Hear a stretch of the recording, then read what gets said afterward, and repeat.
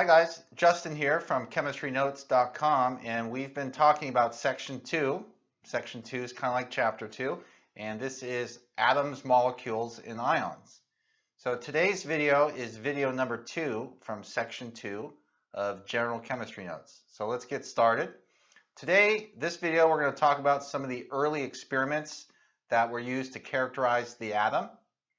And the first one we're going to talk about is J.J. Thomson and his discovery of the electron. So at the top of page one of our notes here, it says the electron was discovered in 1903 by J.J. Thomson as he conducted experiments with a cathode ray tube. So give me a second here and I'm going to sketch out a cathode ray tube for you. It's basically just a, a cylinder and on each end we have an electrode. So on the left hand side we have a cathode and on the right hand side we have an anode. Okay, and we see that there is a current moving from the cathode to the, an to the anode. So cathode rays are moving from left to right in your notes there. Those are streams of electrons running through the cathode tube. Okay? And as I mentioned, they're going from cathode to anode. So uh, the, the image you see on the left is just the cathode ray tube by itself. I'm leaving room on the right hand side of the page because I'm now going to draw a cathode ray tube again, except this time we're going to bring an electrical field into play. So that's what you're seeing now. So on the left hand side we just have a regular cathode ray tube electrons are moving from cathode to anode, okay, in a straight line produced by the applied voltage between those two electrodes. On the right-hand side, I'm redrawing my cathode ray tube. Cathode is the electrode on the left, anode is my electrode on the right, and you'll see that the electrons are being attracted to the positive end of this electric field, okay? So the negative end of the applied electric field is repelling electrons away from it, or you could say that the positive end is attracting electrons towards it. Okay? All right, now let's move to the top of page two of today's notes. And we want to make a few blanket statements about what we just saw. All right, now I'm using the term rays here because He's yet to really define that these are called electrons. So it says here, because the rays, these cathode rays, were deflected away from the negative end of the applied electric field. Another way of saying that is because the rays were attracted to the positive end of the applied electric field, Thomson postulated that the cathode rays were negatively charged and he gave them a name and he called them electrons. So let's read that in kind of uh, real time. Because the rays were deflected away from the negative end of an applied electric field, Thomson postulated that the cathode rays were negatively charged particles called electrons. All right, so he recognizes now that these guys are negatively charged He's called them electrons, but he also knows that atoms are electronically neutral overall. So he's beginning to think about positive charge is where, okay? So that's what the second star means. Second star. Because atoms were known to be neutral, Thomson reasoned that there's got to be an area or a zone of positive charge somewhere in the atom as well. Now he's not aware of protons yet. Protons have yet to be discovered. So he's trying to kind of come up with an idea of where in the atom is the positive charge. All right, and he comes up with something called the plum pudding model of the atom. Now, in this plum pudding model, and I'm going to sketch it, but in the plum pudding model, the electrons are kind of like raisins in a pudding. So the electrons are negatively charged, and they're little point charges. So you see all the dots I'm drawing right now? Those dots are my negative electrons. And then he claims that the rest of it, the pudding, if you will, or the area of the circle that I've sketched, that spherical cloud, is just a zone of positive charge. Okay, so I have electrons are the little dots, and then the cloud itself, or my circle, and then the interior, the white interior, that is an area of positive charge. And again, no mention of protons, those are not discovered yet. So that's what he proposes. It's called the plum pudding model. Okay, we'll come back to the plum pudding model in a bit. This next one, 1909, Robert Millikan. Robert Millikan, he uh, he's about six years after uh, J.J. Thomson's discovery of the electron, right? On the last page, it was 1903. This is 1909. So in 1909, Robert Millikan performed experiments that determined the charge of the electron and the mass of the electron.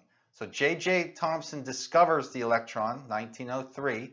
1909, Robert Millikan discovers the charge of an electron and the mass of an electron. Okay, so the mass of an electron is 9.1 times 10 to the minus 31st kilograms. Infinitesimally small, okay? 1911, two years later, Ernest Rutherford. Okay, in 1911, Ernest Rutherford, he disproves Thomson's plum pudding model. Okay, and he does this using his gold foil experiments. Now, I'm going to draw a sketch again of the plum pudding model, and I'm going to do that right below here. But at first it says Ernest Rutherford disproved Thomson's plum pudding model of the atom and he discovers something in the middle called the nucleus, all right? So there's a little bullet point there underneath Ernest Rutherford, and it says his experiment involved bombarding various atoms of metal foil, and that particular metal foil happened to be gold. So he's bombarding various atoms of gold foil with these things called alpha particles. Alpha particles are just kind of low energy radiation. All right. So why is he doing this? And what is what were the results of what he was doing? Well, let's move to the next page and we'll take a look. Now, I did mention I was going to sketch the plum pudding model again, and I'm setting up for that right now. So I'm making my supposed spherical cloud of positive charge, right? And we've got our electrons, the little dots everywhere. Now the four arrows you see moving left to right, these are Rutherford's alpha particles that he's shooting through. Now, if there were no region of central area of positive charge, the nucleus, if there were no nucleus, then the plum pudding results would actually be observed. But it says there, plum pudding results not observed. The reason they're not observed is because Rutherford has just discovered the nucleus. Inside the middle of an atom is a very dense nucleus uh, that has positive charge because that's where the protons are that we know now, right? So these alpha particles on the perimeter can go right through. So the alpha particles that are close to the center of the atom, however, are either going to be deflected or reflected. So the deflected alpha particle and the reflected alpha particle that I've drawn, I've drawn one of each, right? They are proving that there is a region of positive, a, a dense region of positive charge that is kicking this alpha particle away from it or even reflecting it back.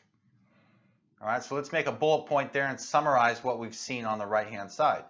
It says, most alpha particles pass directly through because the atom is mostly open space. Deflected particles, so I'm going to have deflected particles and I'm going to have reflected particles. And you can see an example on the right hand, on the sketch on the right hand side. Deflected particles are those that had come close to the positively charged center and then deflected away. Reflected particles had a direct hit with this positively charged center, and then they kind of rebounded or reflected directly back. All right? So Rutherford has just discovered the nucleus. All right, so at the top of a new page of notes here, we want to kind of make a, we're going to make some notes on what we've just witnessed. So the first star up there, it says the densely packed center of the atom is called the nucleus. All right, again, this is 1911, Rutherford and his gold foil experiment, discovery of the nucleus. The densely packed center of the atom is called the nucleus, and that nucleus represents 99.99% of an atom's mass. Essentially, all of the atom's mass is the nucleus. In other words, protons and neutrons. Now, how dense is the nucleus? Well, when I think of something that's dense, I think of like a lead weight, right? A lead weight can be pretty small, and it's still really, really heavy. You know what I mean? But that has nothing on the nucleus. For example, if a nucleus was the size of a grain of sand, a little grain of sand, it would weigh 11 million pounds. Imagine a little tiny grain of sand that was lead.